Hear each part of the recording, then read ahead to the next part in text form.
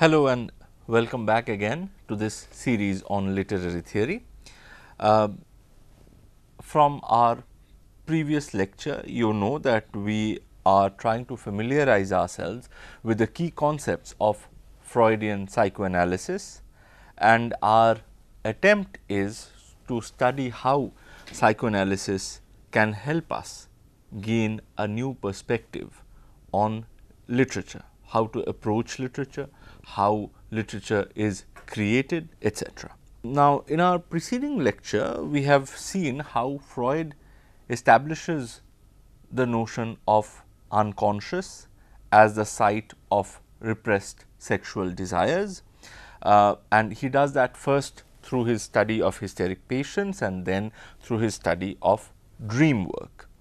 Uh, we have also seen how in both his study of hysteria and his study of dreams, Freud's focus has been on narratives and on the problematics of interpreting narratives. This, uh, as I have already pointed out to you, establishes an obvious connection between Freud's theory of psychoanalysis and the field of literary studies.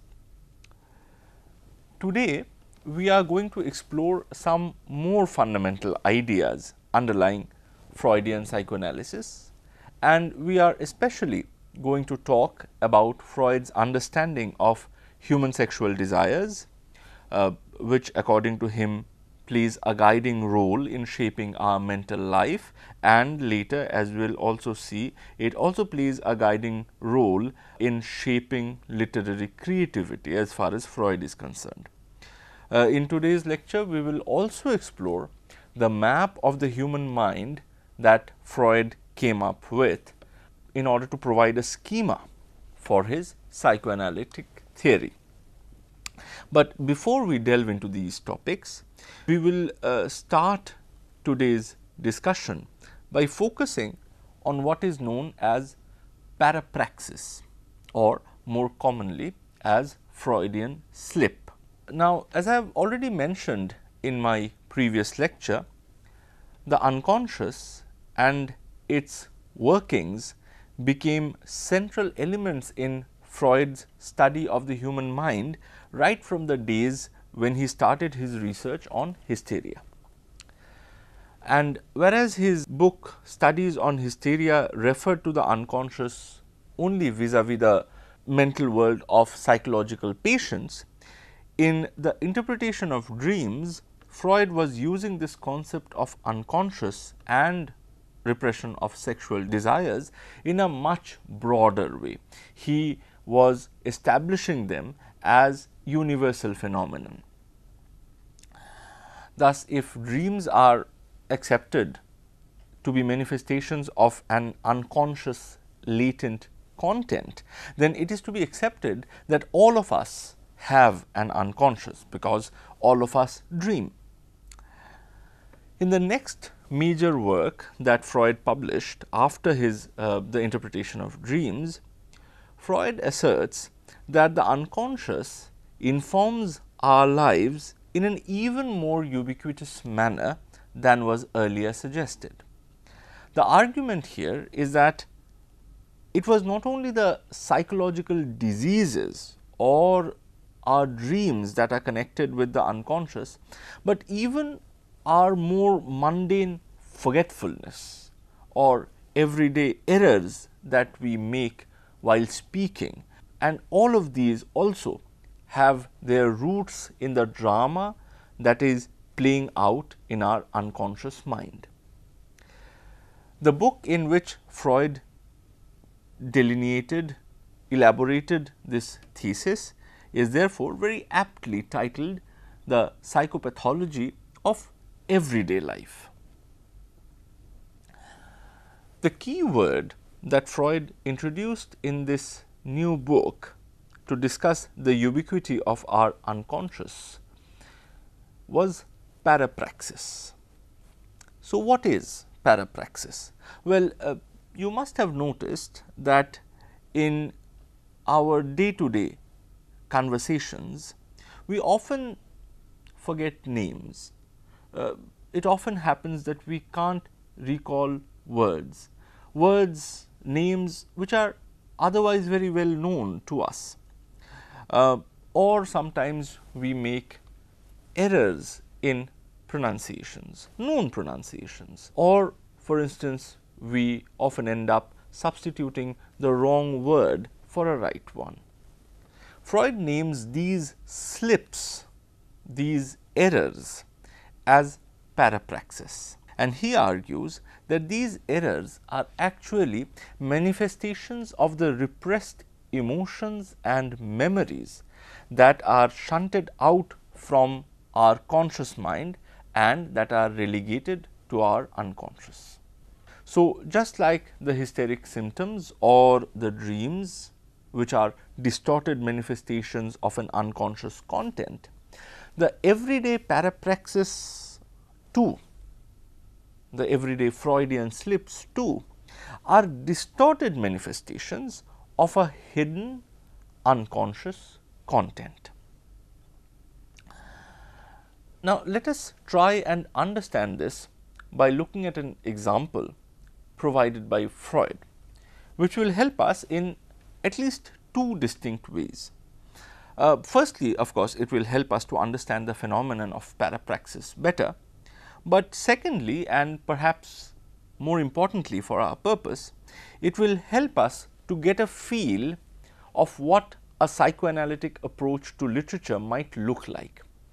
Uh, this is because in this example of parapraxis that we are going to discuss, we start with a narrative or a story, which is then followed by Freud's analyzing the text of the story, so as to reveal its deeper intricacies and its connections with the unconscious.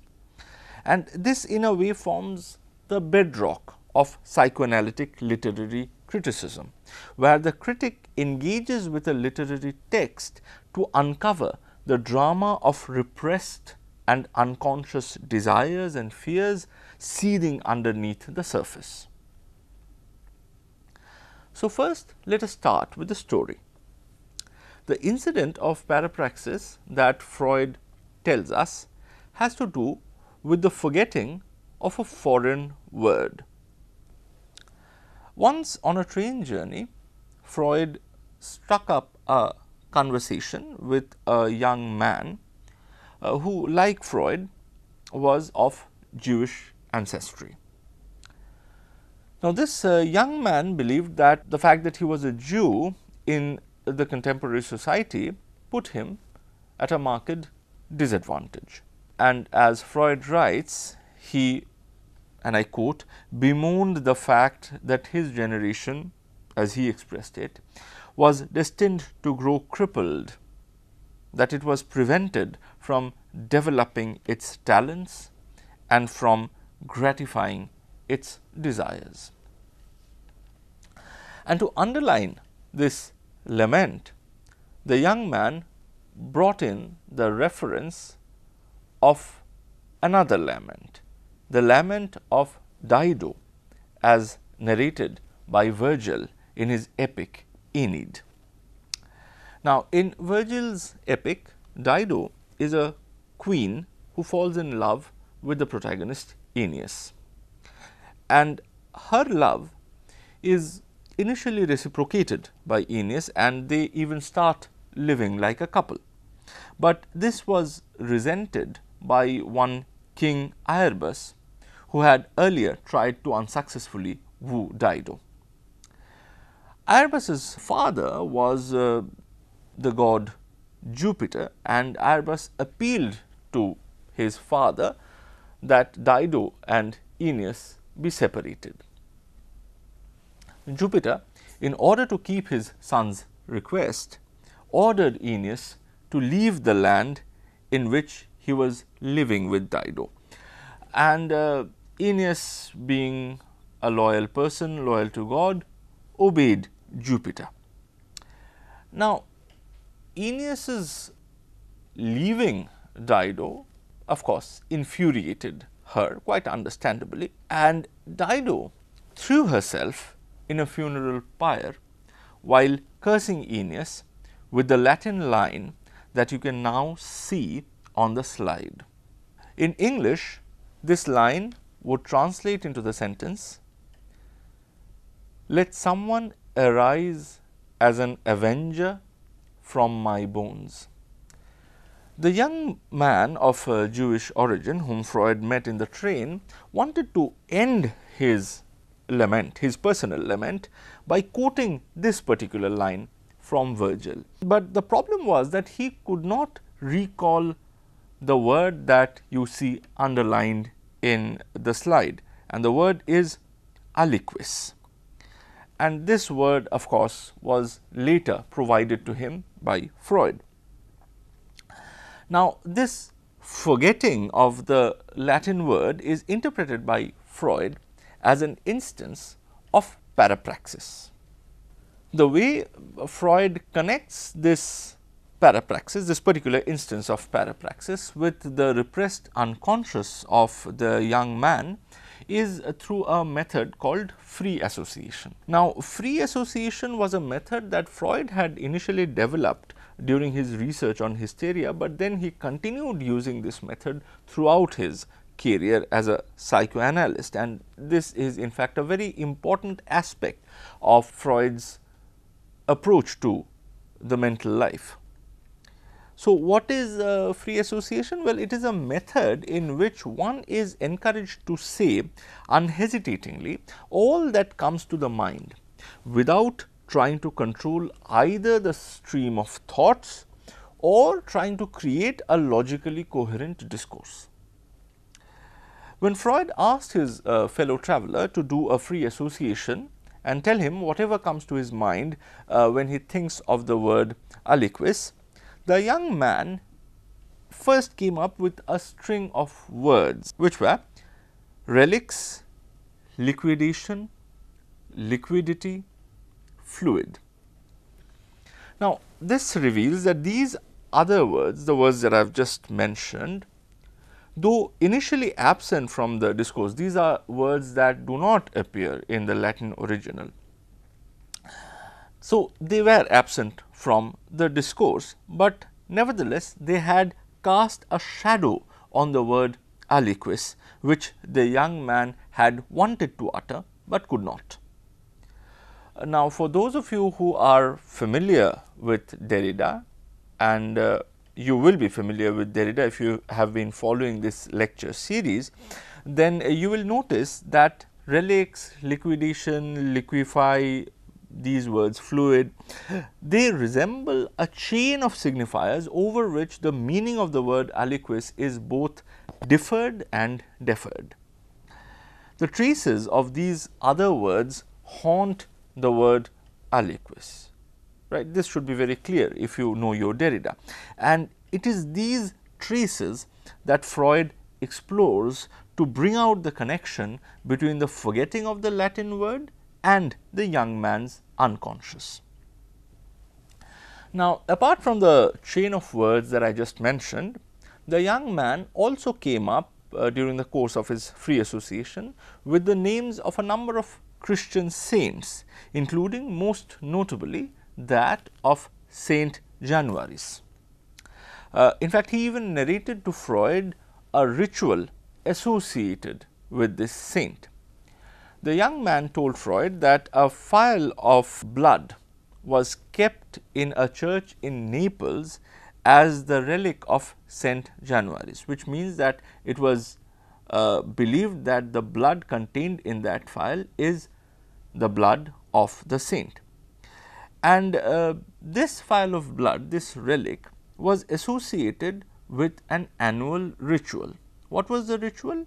Well, every year at certain specified dates, a miracle would happen and the miracle was that the clotted blood of the saint would start to liquefy again, would start converting into a fluid.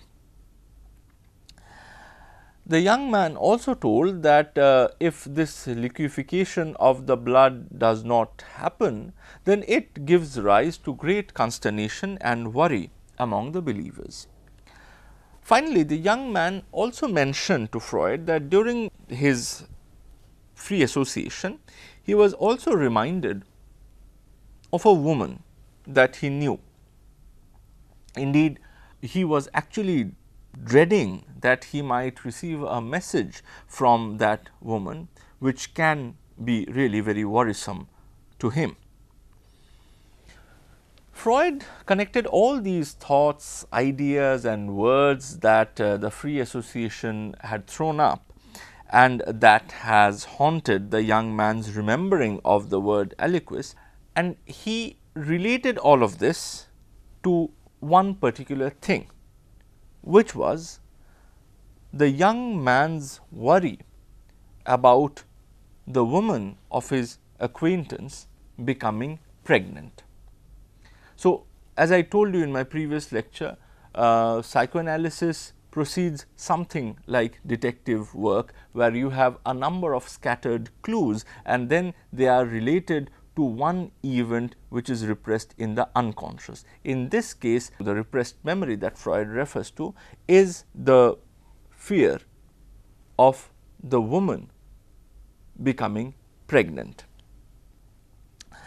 Now, the fear that the young man had repressed actually from his conscious mind is that the woman uh, that he knew might have missed her regular menstrual cycle, which would be a sure sign of her being pregnant by him.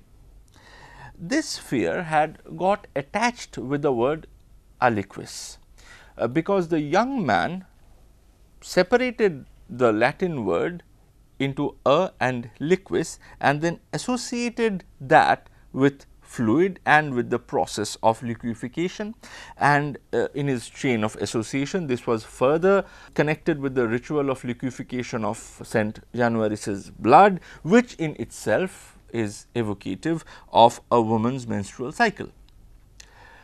Now, if you recall the story of Dido that I have told you, you will realize how the young man's fear could have been unconsciously triggered, because in the Dido story, Aeneas went away from Dido like an unfaithful lover, much like the young man was going away from the woman of his acquaintance.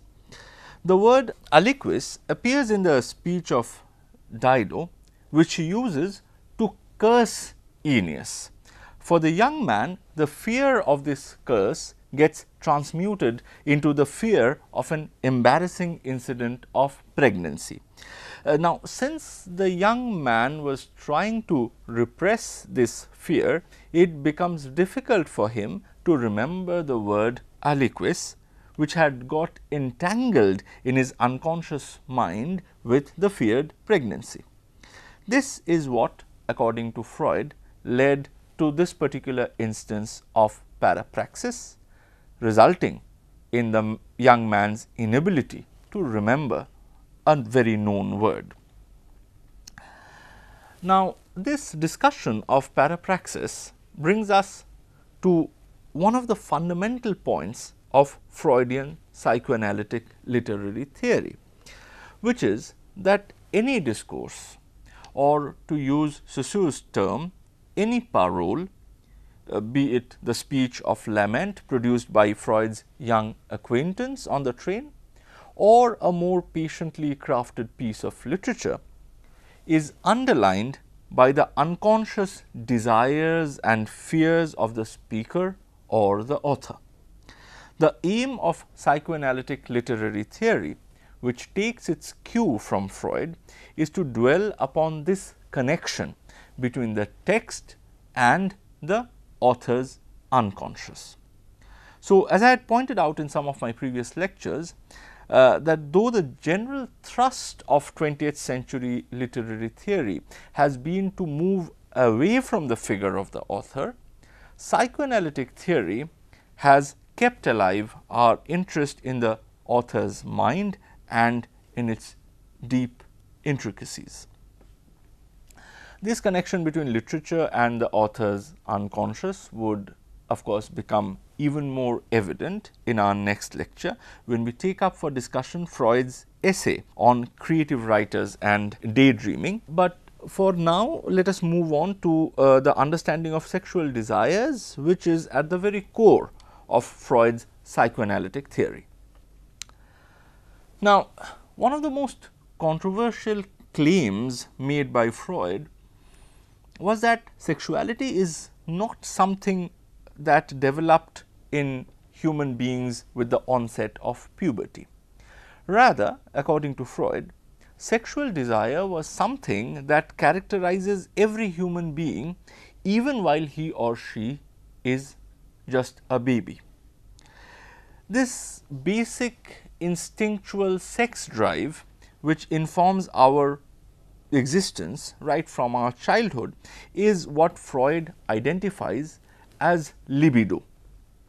Freud argues that as a child each of us direct this libido towards our mother who being our first caregiver and provider of food is also the closest person that we know. The focus of this libido is initially on the activity of breastfeeding and as Freud points out, a baby comes to feed on the breasts of its mother not merely to draw nourishment, but also to experience pleasure which goes beyond the mere requirement of food. And uh, this is what Freud writes.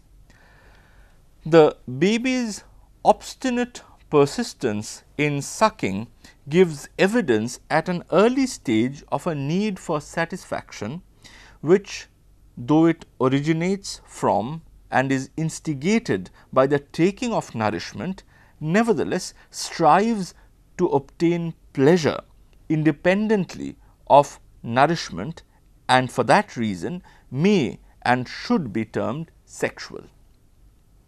Now, within uh, the family structure, a baby soon realizes that the mother is not exclusively occupied with it. The father is also someone who demands and receives the attention and care from the mother. This leads the baby to conceive its father as an opponent who is vying with him for the love and attention of the mother figure.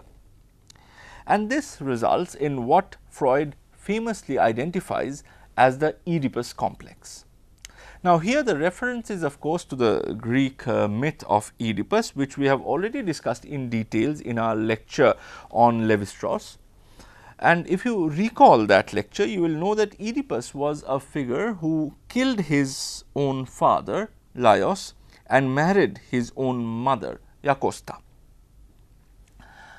Now, according to Freud, a baby while growing up resembles something like this mythic figure Oedipus, who wants to quote unquote kill its father or at the very least remove the father from the scene, so that it can receive the undisputed, undisrupted love and care of its mother. Now, with the introduction of the father in the scene, the baby's desire for its mother also gets underlined by a sense of fear it realizes that the father is a much stronger person and can potentially cause harm. For the baby who by this time uh, has discovered its penis as one of the primary locus of sexual pleasure, this fear of being harmed by the father takes a very specific shape. It translates into the fear of being castrated by the father. This fear of castration or castration complex as Freud calls it is according to Freud one of the fundamental aspects of our psychoanalytic life. Now, as the baby grows up and gets acquainted with the social expectations and prohibitions, it realizes that harboring murderous intentions towards one's own father is socially tabooed. The baby therefore represses this desire into the unconscious and rather than treating the father as a competitor comes to regard him as a role model. The baby comes to believe that if it can become like the father, it will be able to win complete love and affection of one someone like its mother.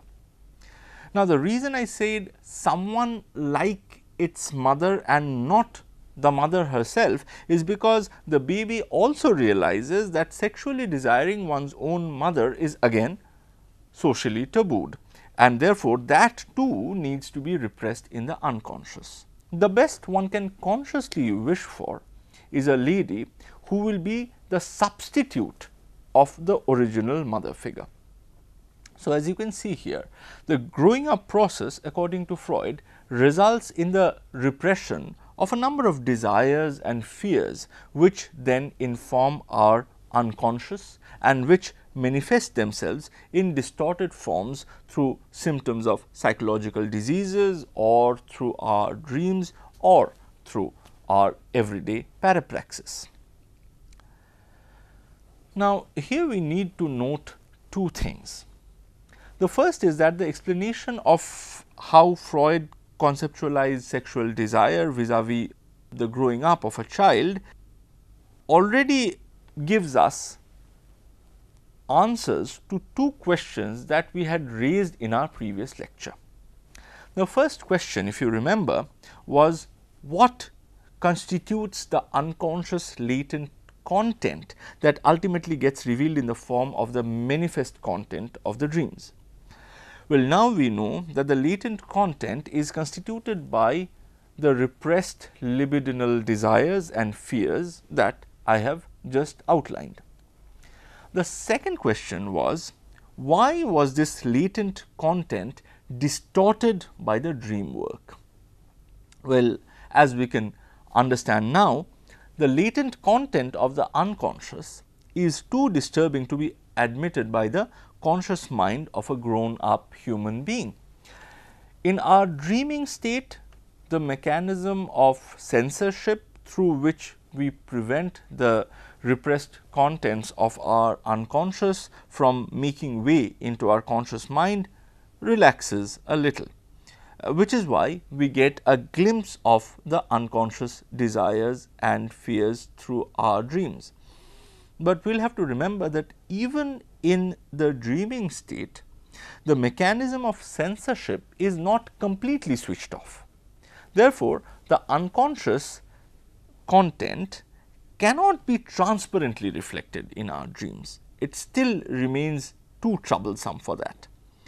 Consequently, the reflection is muddied and distorted through the process of dream work, which we have already discussed in our previous lecture.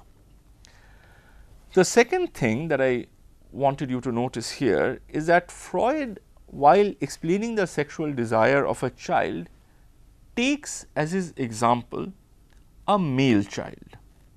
The masculine sexuality is the norm as far as Freud's psychoanalysis is concerned. Uh, Freud does work on female sexuality, but uh, he clearly treats it as a distorted version of the normative male sexuality. Uh, we do not have enough time at our disposal to go into the details of Freud's explanation of uh, female sexuality, but if you read it, you will very well understand why it remains a fiercely disputed theory, especially contested by the feminists. Let us now take up Freud's mapping of the human mind, which will be the final topic of our discussion today. Throughout his career, Freud uh, kept revising the structure underlying the human mental activities. So, if we read the complete works of Freud, it is unlikely that we will arrive at a definitive version of Freud's map of human mind. But more or less the basic contours of this uh, mind map created by Freud uh, is well established. Our mental activities according to Freud when taken together has three broad aspects. They are the id, the ego and the superego. Now, here it is important to note that these three names that I just mentioned are three aspects of the mental dynamics and uh, they are not physical parts of our brain. In other words, id, ego and superego do not have uh, specific physical locations within the anatomy of our brain. Uh, so, now that we know what they are not, let us try and understand what they really are. And let us start with id. According to Freud, id is constituted of all our instinctual desires that I have identified a few moments earlier as libido. The main guiding principle of id is uh, what Freud calls the pleasure principle. In other words, the instinctual drives informing the id always seeks pleasure and uh, it comes across uh, as something like a petulant and demanding child who keeps repeating the phrase I want, I want this, I want that etc. And indeed this metaphor is not very superfluous because if we look at it from the Freudian perspective then we will see that the unchecked manifestation of the desires informing the id is what characterizes our state of childhood.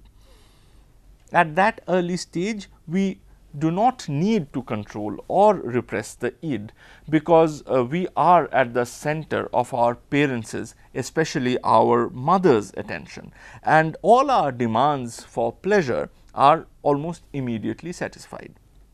It is only when we grow up and learn to negotiate the world as independent social beings that we realize that all our desires cannot be instantaneously met and indeed some desires like the killing of our fathers or the marrying of our own mothers cannot be met at all.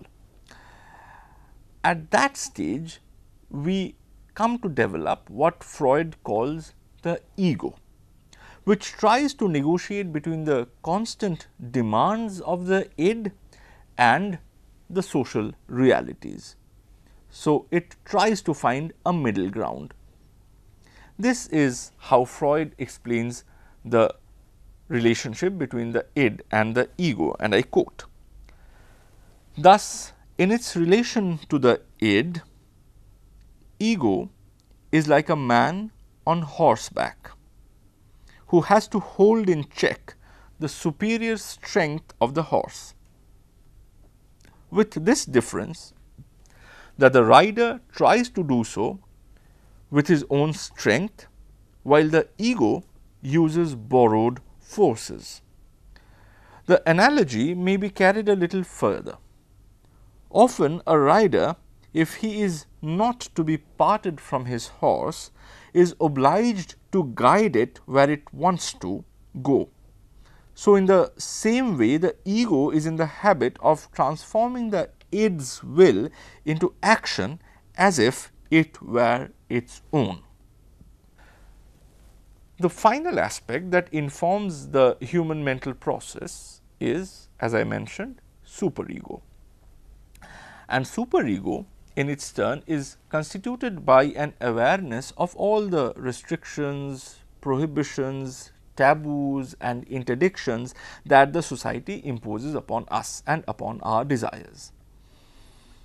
This is actually the borrowed forces that Freud mentions in the lines that I have just quoted. Now, remember here that according to Freudian psychoanalysis, while growing up, we first learn to restrict and repress our desires out of a fear of our father. Consequently, at a later stage, when we have a strongly developed superego, we often associate it with the dictum of the Father. And since God is often assumed to be our universal Father, superego is often perceived as the moral restrictions laid down by God himself.